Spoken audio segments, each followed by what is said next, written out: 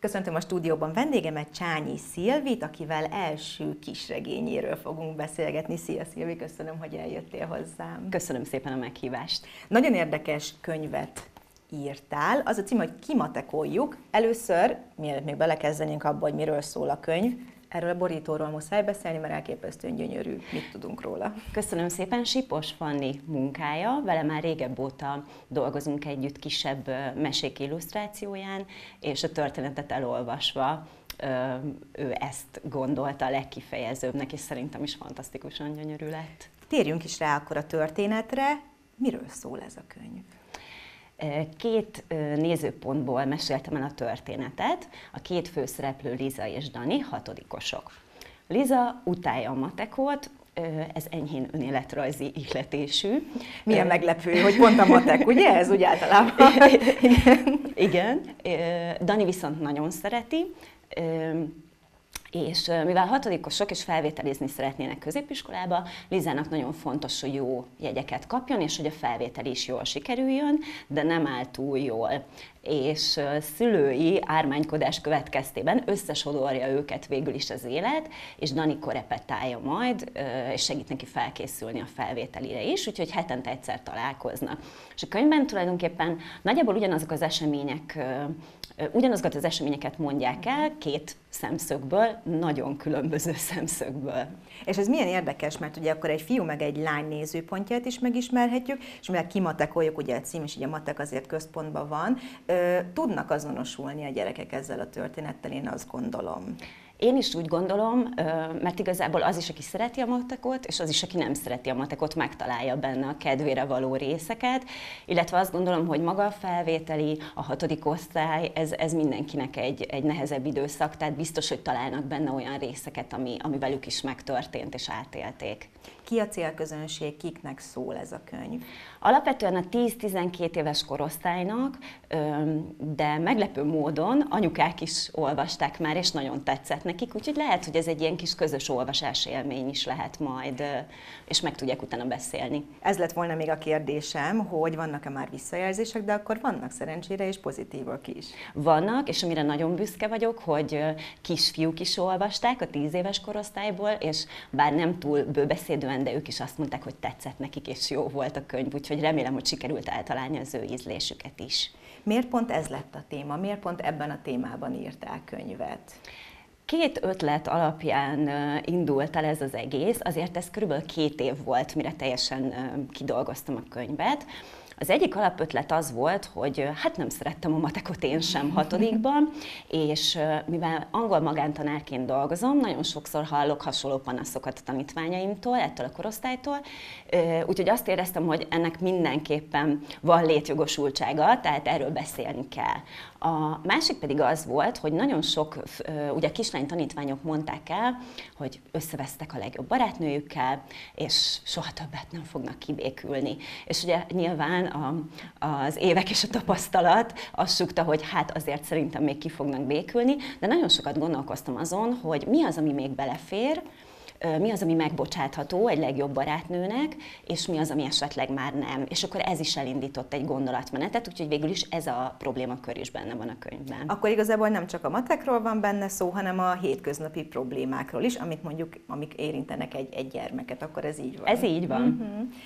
Azt néztem, hogy egy 140 oldal, tehát alapban egy tök jól befogadható, könnyedén befogadható könyvről van szó, és ráadásul, ami miatt nekem nagyon tetszik, az az, hogy kis fejezetek vannak, könnyen olvasható, csak egy kicsit ki tudjuk nyitni, akkor csak egy fejezetet elolvasunk. Én nagyon szeretem, bevallom őszintén, hogy mondjuk akár a novellákban is ezt szeretem, hogy tudom, hogy mettől meddig van, mire van idő, még este gyorsan az ágyban elolvasok egyet, vagy a metron pont belefér még egy, egy fejezet, vagy egy novella. Ez akkor ezért lehet tehát, hogy az is olvasson, aki esetleg nem szeret annyira olvasni, meg annyira sokat, meg annyira sok ideig figyelni, pont jó így. Abszolút, tudatosan készült így, bevallom, lehetett volna 200 oldal is, de visszafogtam magam. Én sem szeretem egyébként a hosszú fejezeteket, én is főleg este olvasok, tudom, hogy leterheltek a gyerekek, nekik is csak este van rá idejük, kevés szabad idejük van, és nagyon sokszor hallom azt is, hogy azért nem kezdenek el egy könyvet, mert sajnos egy 400 oldal elrettentő. Főleg esetleg egy olyan gyereknek, aki még nem olvas olyan jól, olyan gyorsan, És a rövid fejezeteken kívül egyébként a betűméretet is úgy választottuk ki, hogy kifejezetten könnyen jól olvasható legyen, és a tördelést is próbáltuk úgy megoldani az oldalakon. Úgyhogy az eddigi visszajelzések alapján egyébként tényleg könnyen, könnyen olvassák, és az egyik is olvasom azt mondta, hogy neki kifejezetten sikerélményt ad, hogy ő elmondhatja a nap, nap végén, hogy ő aznap három fejezetet el tudott olvasni egy könyvből, és hogy ezt korábban nem kapta meg. Akkor így az olvasás szeretetére is tudjuk ösztönözni a gyermekeket. Ez így szerintem nagyon-nagyon fontos, úgyhogy emiatt is örülök nagyon a könyvnek, és miközben itt lapozgatom, az jutott eszembe, hogy ki a kedvenc szereplőd? Hát a két főszereplő közül nem tudnék választani, mert mind a kettőket nagyon megszerettem az írás közben. Ugye hát Lizával nyilván a matekkal kapcsolatban tudok azonosulni, de Daniban meg annyira csodálom azt, hogy ő, hogy ő szereti, hogy a sok egyéb nehézsége ellenére is azért feltalálja magát, boldogan él a kis világában, a maga életében, de egy mellékszereplőt tudnék mondani, akit nagyon megkedveltem, ő pedig a nagymama, Dani nagymamája, és ha lehet, akkor elmondanám, hogy ő egyébként egy valós személy. Ez de lett volna a kérdésem, hogy igen. De nem ismerem, ugyanis ő ételfutárként dolgozik, bármilyen meglepő is, és egyszer, amikor a könyvben dolgoztam egy kávézóban, és nagyon nem jött az iklet, és szenvedtem, így nézegettem a jegyzeteimet, sehova nem haladtam, egyszer csak betoppant egy idősebb hölgy, egy hatalmas ételkiszállító dobozzal, és átvette a rendelést, és utána kiviharzott, beült egy kocsiba, és elhajtott. És annyira mély nyomot hagyott bennem, utána egyszerűen nem tudtam kivenni a fejemből, és úgy gondoltam, hogy, hogy, ez, hogy mennyire különleges, és hogy, és hogy őt megpróbálom becsempészni. A másik, ami miatt nagyon szeretem, nyilván ugye a személyiségét én találtam ki, hogy a nagy korkülönbség ellenére megérti a gyerekeket, megtalálja velük a közös hangot, és azért ugye a történetből kiderül, hogy Daninak nem mindig olyan egyszerű és flottul haladó az élete, és a nagymama egy biztos pontot jelent. És én azt gondolom egyébként, hogy ezzel azért nagyon remélem, hogy sokan vagyunk így, hogy a nagymamák mindig ott vannak rájuk, lehet számítani hozzájuk, át lehet menni suli után, és valahogy nekem ezért ő áll a szívemhez nagyon közel. Lezárásként kettő kérdés muszáj feltennem, az egyik Újpesthez kapcsolódik, hiszen ha jól tudom, azért van egy kötődésed a városunkhoz. Így van. Édesanyám nagybátyáik élnek itt, éltek itt mindig, és gyerekkoromban nagyon sok időt töltöttem itt náluk.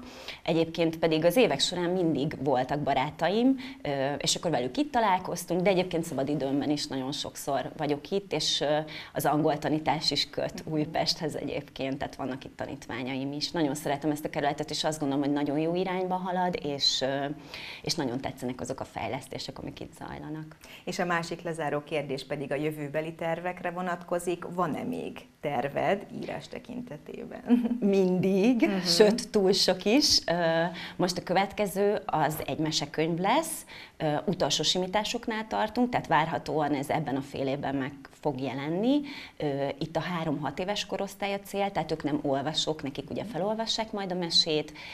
Az északi sarkörön túl játszódik, és a főhősei rénszarvas, birkák, patkánycsalád, de egyébként már vannak ötleteim a következő ifjúsági regényre is. Na, hát akkor nagyon sok sikert kívánok neked, Szilvi, és köszönöm szépen, hogy eljöttél, és elhoztad ezt a nagyon különleges könyvet. Köszönöm szépen. Nagyon köszönöm én is, és köszönöm, hogy itt láttam.